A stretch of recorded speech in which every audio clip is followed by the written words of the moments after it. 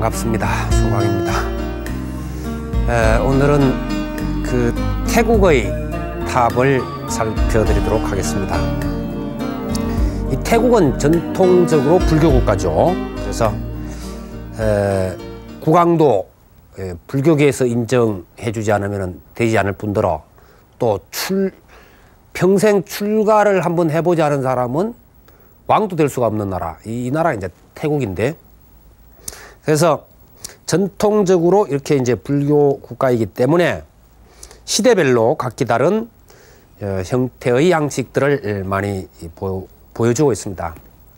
처음에는 아마 스리랑카의 영향을 받고 그 다음에 크메르의 영향도 받은 듯하고 또 나중에 미얀마 혹은 당나라의 양식까지도 받아들여서 나름대로 조화를 이룬 것을 알 수가 있습니다. 아, 탑들을 하나하나 살펴보면서 우선 말씀드리죠. 자, 와트 프라게오, 어, 소위 그 에메랄드 사원이라고 불리기도 하는 태국의 예, 왕실 사원입니다. 이제 보시다시피 그 정각하고 탑이 같이 막 어우러져 있는 그런 모습을 볼 수가 있죠.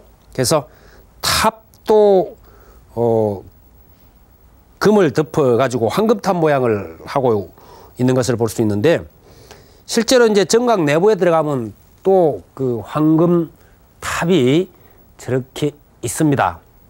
완전히 탑 형태죠. 바로 저 탑 안에 에메랄드 부처님이 모셔져 있는 거죠.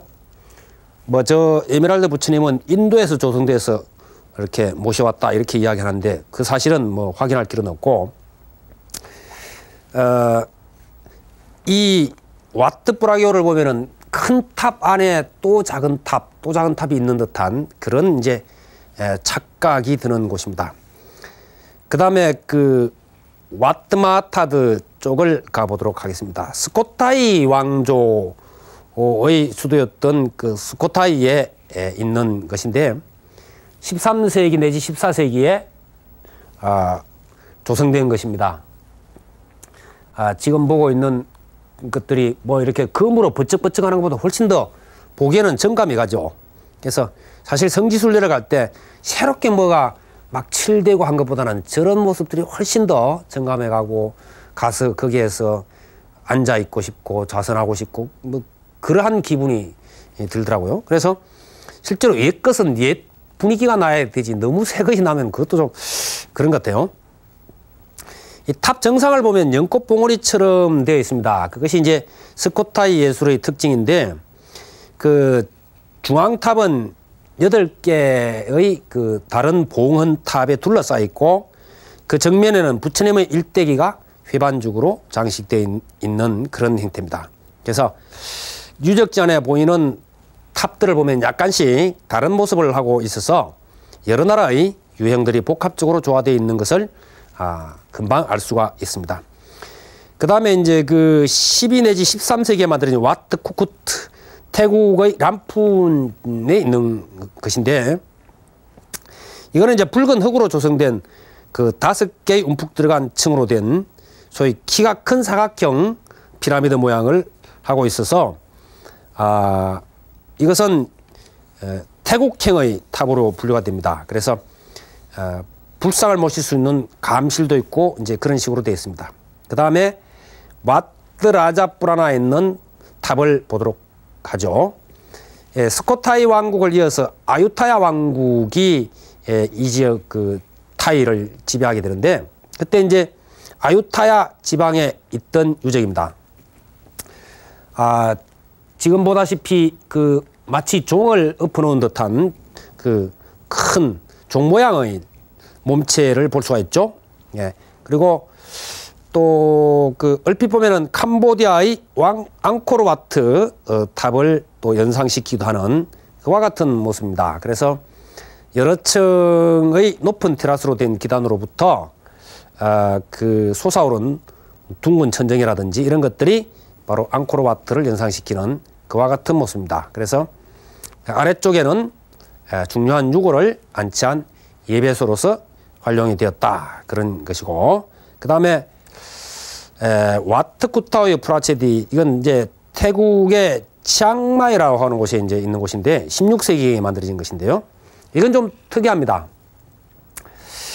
기단으로부터 이렇게 이제 그 올라가면서 점차 적어지고 있는 구형, 둥그런 그런 모양을 하고 있는 독특한 탑입니다. 그래서 네 개의 감실이 있어서 에, 본래 이제 불상이 모셔져 있었지만은 뭐 지금은 음, 그렇지 않고 탑의 정상은 상계가 있는 작은 뾰족탑으로서 상륜부를 삼았습니다. 그래서 아, 지금 보시면은 이처럼 어, 지금까지 살펴온 탑에서는 볼 수 없는 유형이 나타납니다. 이것이 바로 와트쿠타오라고 하는 그 어, 곳에 있는 탑입니다. 이게 그래서 점차 무슨 그 둥근 원이 점차 적어지는 듯한 이런 식.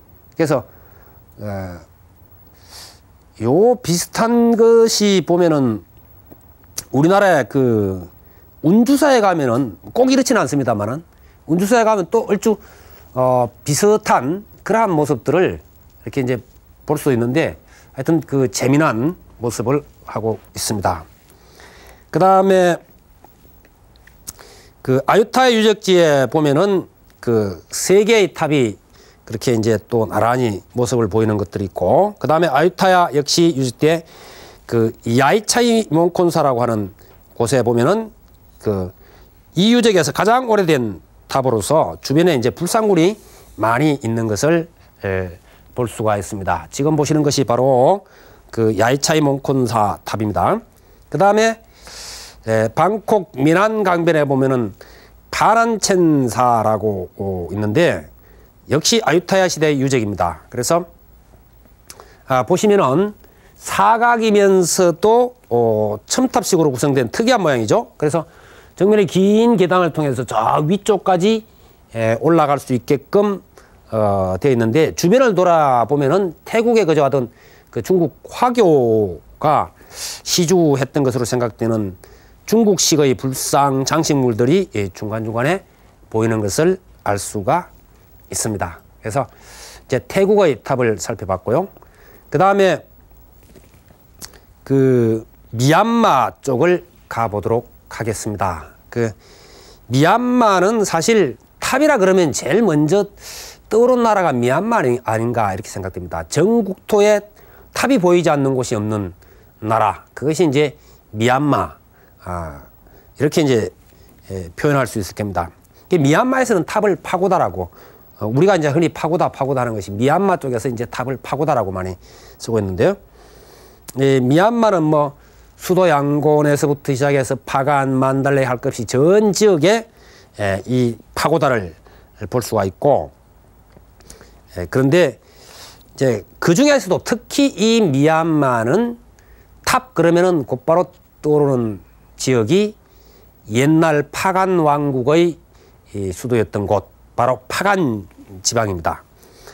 이 미얀마에 가면 이제 큰 강이 있죠. 미얀마의 젖줄이라고 일컬어지는 그 강입니다. 그래서 이 이라와디 강이 있는데 이 이라와디 강변에 사방 한 10km 정도의 땅에 약 5천 개가 넘는 그러한 파고다하고 사원이 질비하게 있습니다. 이제 지금 저렇게 멀리서 이렇게 보면은 아, 도처에 이렇게 아, 탑이 있습니다. 저 파간 지방은 평원입니다. 그래서 사방을 둘러봐도 이렇게 산이 잘 안 보이는데 탑이 저렇게 이렇게 에, 사방을 둘러봐도 탑이 보입니다. 특히 이제 저 어, 해가 질 때쯤 이렇게 어느 한 탑에서 어, 사방을 둘러보면은 노을에 물드는 그 탑들이 마치 그대로 불국정토에 와 있는 듯한 착각이 들게끔 하는 그러한 곳 그것이 에, 파간 지역입니다. 특히 파간 지역은 탑들이 보면은 아주 오래된 그러한 그 고풍을 많이 예, 보이고 있어서 더더욱 정감이 가는 곳이 예, 아닌가 이렇게 생각이 되어지는데요. 에, 그 이제 같이 이렇게 우리가 볼 때는 그냥 탑처럼 보이지만은 사실은 어, 두 가지가 같이 이, 있습니다. 파고다는 사리를 모신 것이기 때문에 안으로 들어갈 수가 없죠. 밖에만 이렇게 이제 우리가 참배할 수 있는데 그 다음에 그 내부 깊이 불상을 모시고 회랑처럼 되어서 다닐 수 있는 곳 이게 이제 사원이라 그럽니다. 그래서 외부에서 볼 때는 사원하고 탑이 비슷비슷하지만은 실제로는 그런 차이가 좀 있다 하는 것을 아시면 되겠습니다. 이 파간 지역은 파간 왕조가 그 가장 크게 번영했던 것이 11세기에서 13세기에 걸쳐서 어, 번영을 했었는데 사실 이 파간에 가서 보면은 땅이 전부 다 황토질이에요. 황토질이라서 그 흙을 파서 뭉쳐서 불에 구, 굽기만 하면 소위 그 적벽돌 우리가 이제 그 붉은 벽돌 하는 그 적벽돌이 될 수 있다 그럽니다. 그래서 예전에 그 숲도 울창했고 했는데 이제 탑을 만들려면 뭐 탑이 원체 그 크거든요. 그러니까 그 벽돌이 들어가는 숫자가 엄청나죠. 그래서 이제 바로 옆에서 흙, 그 벽돌 공장을 만들어 가지고 그 구워서 이 탑을 쌓아 나가는 그와 같은 행태를 그럽니다. 그래서 그 이야기를 듣지 않으니까 파간 지역은 저 파간의 탑들을 다 만들고 나니까 이 지표면이 1m 내려갔다 그래요. 그만큼 그 벽돌을 많이 사용했다고 하는 이제 그런 곳인데 탑 모양을 보면은 우선 사각형의 그 만다라를 연상시키는 것에서부터 또 몇 단의 기단 위에 사리탑을 올려놓은 듯한 그러한 형태를 볼 수가 있습니다. 그래서 뭐 우리가 이제 그 미얀마 가면 흔히 쉽게 들을 수 있는 유명한 그 파고다라 보면은 11세기 때의 난파야, 쉐다곤, 아난다, 페틀레이크 이런 탑들이 있고 이 주로 이제 파간 지역을 살피면 그렇습니다. 12세기에는 아, 타핀유, 슈기 이런 탑이 이제 유명하고 13세기에 들어가서 만들어진 탑으로는 마하보디, 에, 민갈라지디, 또 틸로민노 이러한 탑들이 예, 대단히 유명합니다. 뭐 그 탑들을 다 일일이 살펴볼 수는 없고 대표적인 탑들 몇 가지를 살펴드리도록 하겠습니다. 우선 아난다 사원을 보도록 하겠습니다. 사원이라는 것은 내부에 불상 모시고 회랑이 있어서 다닐 수 있게끔 된 것을 사원이라. 그러나 외부에서 볼 때는 탑과 같다. 그렇게 제가 말씀을 드렸죠. 지금 보면은 뭐 그냥 탑이죠. 탑이지만은 내부에는 사실은 회랑이 되어 있고 그렇습니다. 높이는 약 56m. 에, 그 불교의 탑과 아, 힌두교의 사원 형식을 복합적으로 구성한 것인데 어, 전체적으로는 최대 사원이라고 그렇게 이야기됩니다.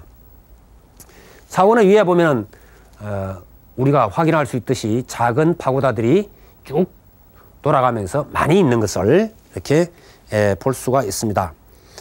내부에 들어가 보면은 동굴 사원을 인도의 동굴 사원이나 이런 것을 연상시켜서 연상해서 만든 듯한 좁은 그 통로가 있습니다. 어두침침하죠. 뭐 다니기는 불편하지 않은데 그렇게 밝지는 않습니다.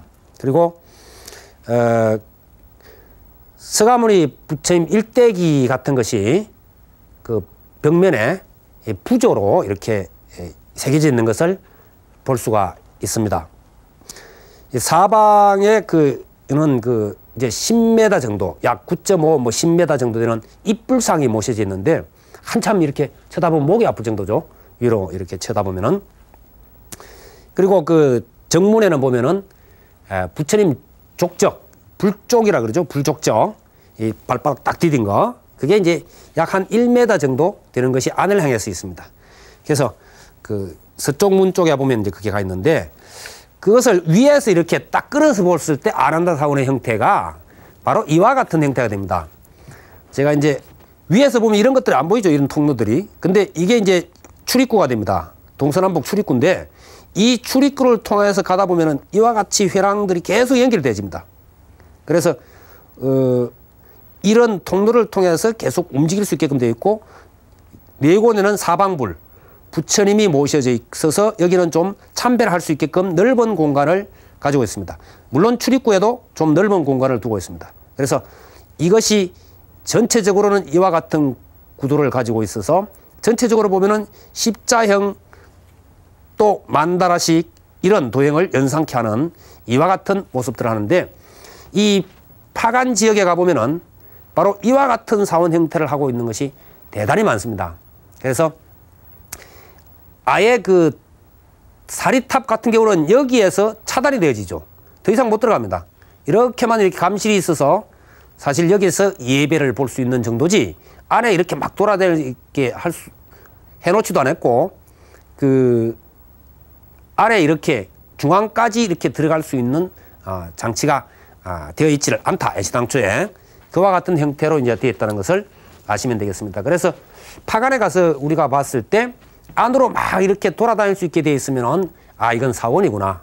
그 다음에 외부로 이렇게 돌아서 다음 다음으로 이렇게 옮길 수 있게끔 된 것은 아 이건 본디 사리탑으로 아 이게 조성된 것이로구나. 그렇게 이해를 하시면은 아, 쉬울 겁니다.